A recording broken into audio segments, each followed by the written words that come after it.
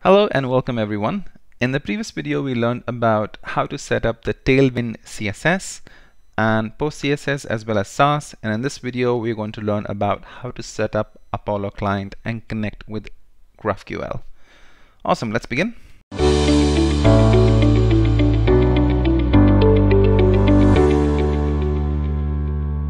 The first thing we're going to do is go on to our front end directory into the terminal and then we're, we're going to run npm install Apollo client and also GraphQL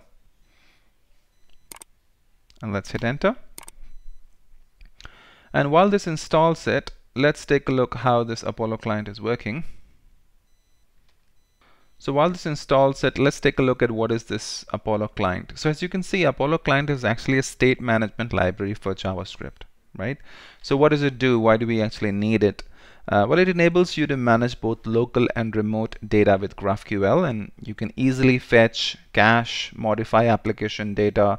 It normalizes the data for you as well, and all of this while automatically updating your UI. Okay, so you can read more you can read more about it as to what are the benefits of Apollo over here, but let's get started. Uh, I think by this time it's already must have been installed, right? You okay? So we've already installed it, and how to set it up. So you can see that you have to import Apollo and in-memory cache. Let's go to our front end, and inside of front end we go to source, and we'll create a directory called Apollo and inside of this we're going to create a file called called client.js and inside of the client.js we are going to use we are going to import the Apollo client and in-memory cache from here. And there's one more thing we need to import and that's create HTTP link. Okay? So we're going to use that. And and then we're just going to use this client.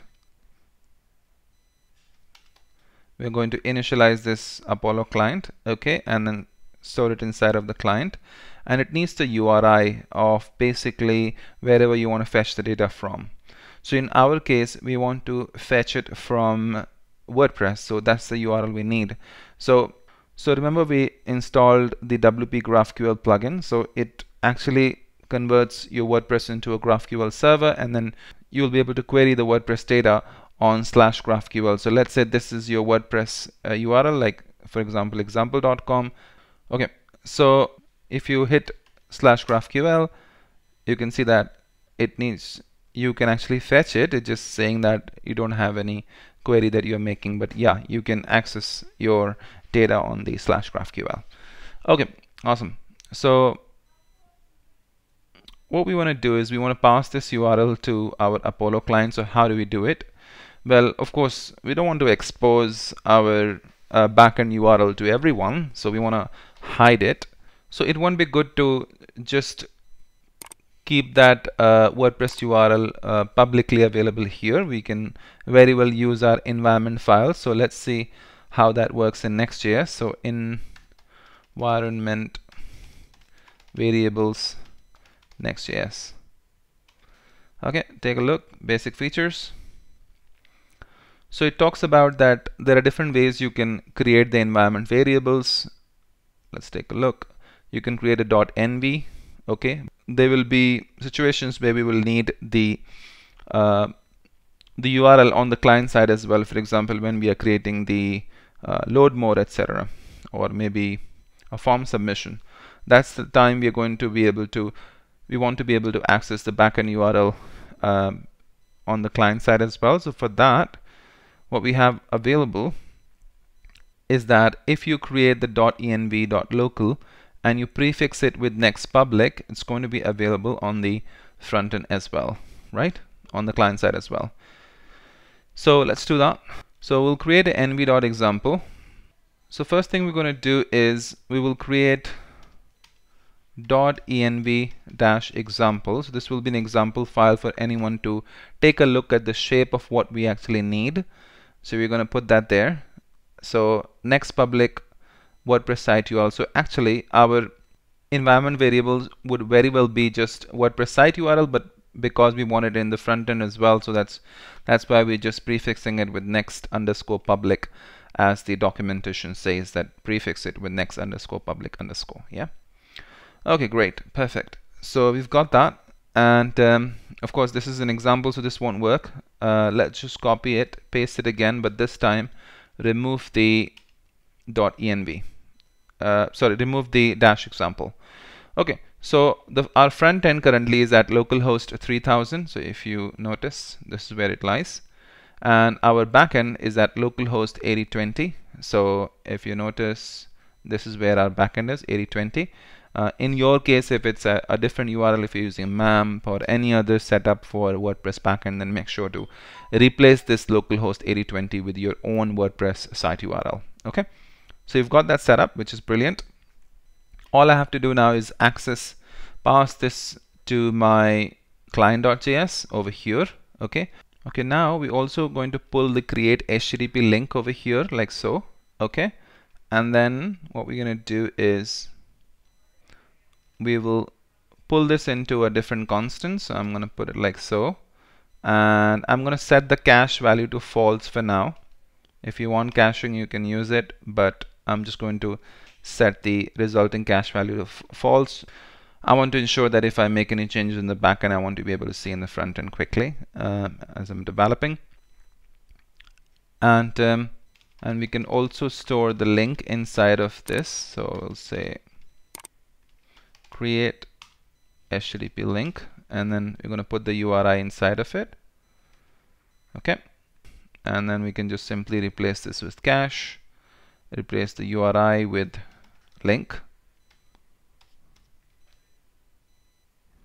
And then for default options we'll pass the default options like so right okay and then finally I'm just going to export default client client that's it.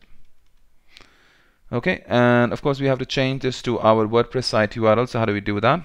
So remember that we have this URL available. So uh, all I'm going to do is just say process.env. So we'll have this available inside process.env. So we'll say process.env, next public WordPress site URL and slash GraphQL. Okay, awesome.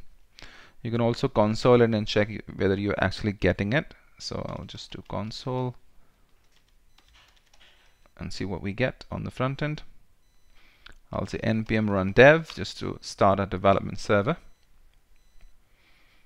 Let's go back. The thing we want to do is come to pages and then app.js and remember that anything that we wrap over here will be available to all the components. So what we can do is we can say Apollo provider pass client to it. So client equals client here we go. It's already imported. There we go and just paste that back in. So what's happening is that we are wrapping it inside of Apollo provider so that the client that we have exported here all of the configuration of Apollo client that we have created and instantiated um, is going to be then available to the Apollo provider and then client will be available to all of the components and the query can then be made easily. All right? Awesome. This is great. So now let's go ahead and console this site URL to see if we are getting that. Console, let's see what we get. URL, yep. There you go. So can you see that you have got the localhost 8020 over here, which is great, and then you, you pass the slash GraphQL.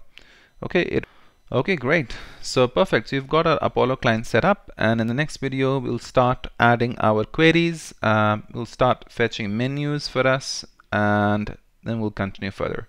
So I hope you did like the video. If you did, please give a thumbs up and do subscribe to my channel if you aren't already.